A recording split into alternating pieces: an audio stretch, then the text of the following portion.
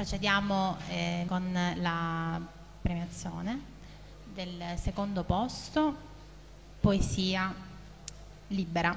E Poesia Occhietti Neri procederà la dottoressa Nevisca a premiare. Grazie.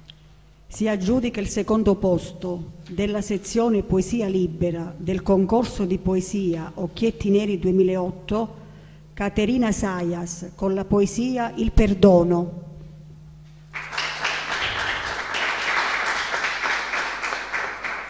Complimenti a Caterina Sayas, alla quale ovviamente giungerà sia la targa che l'attestato.